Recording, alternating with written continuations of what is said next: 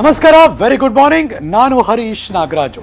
ತುಂಬ ಜನ ಅಫ್ಕೋರ್ಸ್ ಈ ಥರದ ಪ್ರಕರಣ ಎಷ್ಟೋ ಕಡೆ ನಡೀತಿರುತ್ತೆ, ಆದರೆ ಇಲ್ಲಿ ಪ್ರಾಣನೇ ಹೊಟ್ಟೋಯ್ತು ಹಾಗಾಗಿ ಜನ ತಿರುಗಿ ಬಿದ್ದರು ಇಲ್ಲಿ ನೋಡೋಕ್ಕೋದ್ರೆ ಕಾಕಿ ತಪ್ಪೋ, ಅಥವಾ ಬೈಕ್ ಸವಾರನ ಭಯವೋ?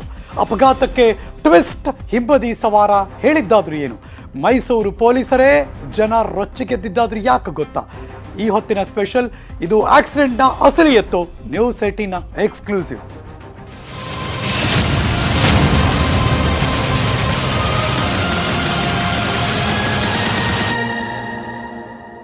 ಚೆಕಿಂಗ್ ಮಾಡ್ತಾ ಇದ್ರು ಟ್ರಾಫಿಕ್ ಪೊಲೀಸರು ಅವಾಗ ಒಂದು ಅಪಘಾತ ನಡೆದು ಹೋಯ್ತು. ಮೈಸೂರು ಅಪಘಾತ ಪ್ರಕರಣದಲ್ಲಿ ಪರ ಮತ್ತು ವಿರೋಧ ಎರಡೂ ಕೇಳಿ ಬರ್ತಾ ಇದೆ. ಮೈಸೂರು ಪೊಲೀಸರ ಪರ ವಿರೋಧ ದೂರು ದಾಖಲಾಯಿತು. ಪೊಲೀಸರು, ಅಂದ್ರೆ ಮೈಸೂರು ಪೊಲೀಸರಿಂದಲೇ ಮೂರು ದೂರು ದಾಖಲಾಗಿದೆ. ಬ್ರೇಕಿಂಗ್ ನ್ಯೂಸ್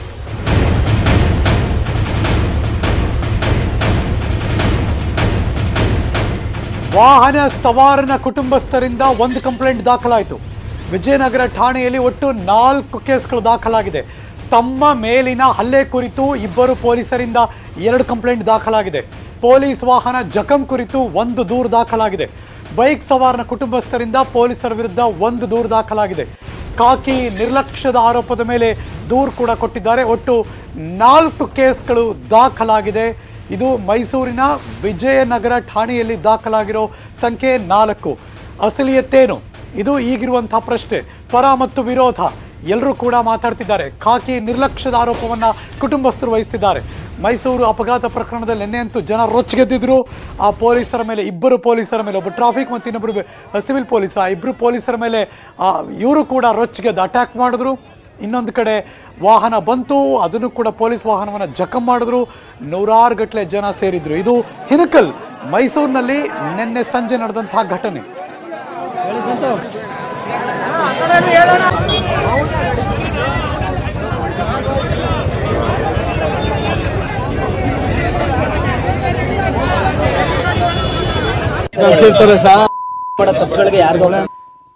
ಪೊಲೀಸರು ಚೆಕ್ ಮಾಡೋಕೆ ಅಂತ ನಿಂತಿರ್ತಾರೆ. ಇನ್ಯಾರೋ ಹೆಲ್ಮೆಟ್ ಹಾಕೊಂಡ್ ಬರ್ತಿರಲ್ವೋ ಅಥವಾ ಅವ್ರ ಹತ್ರ ಡಾಕ್ಯುಮೆಂಟ್ಸ್ ಇರಲ್ವೋ ಗೊತ್ತಿಲ್ಲ. ಎಸ್ಕೇಪ್ ಆಗೋಕ್ಕೂ ತುಂಬಾ ಜನ ಹೆಂಗೆಗೋ ಸರ್ಕಸ್ ಮಾಡಿದ್ದನ್ನು ನಾವು ನೋಡಿದ್ದೀವಿ. ಪೊಲೀಸರಿಗೆ ಹೆದರಿದ್ದೆ ಈ ಅಪಘಾತಕ್ಕೆ ಕಾರಣ ಆಗೋಯ್ತಾ ಅನಿಸ್ತಾ ಇದೆ. ವಾಹನಗಳ ತಪಾಸಣೆಗೆ ಕಾಕಿ ಪಡೆ ನಿಂತಿತ್ತು. ಅದನ್ನ ನೋಡಿ ಆತ ಎಸ್ಕೇಪ್ ಆಗುವಂತ ಟ್ರೈ ಮಾಡ್ದ. ಆಗ ನಡೆದದ್ದು ಅಪಘಾತ ಇದು. ವಾಹನ ಸವಾರರಿಬ್ಬರು ಹೆಲ್ಮೆಟ್ ಧರಿಸಿದ್ರು. ಯಾಕೆ ಭಯ ಪಟ್ರು ಅನ್ನೋದು ಈಗಿರೋ ಕ್ವಶನ್ ಇದೀಗ ಬರ್ತಾ ಇದೆ breaking news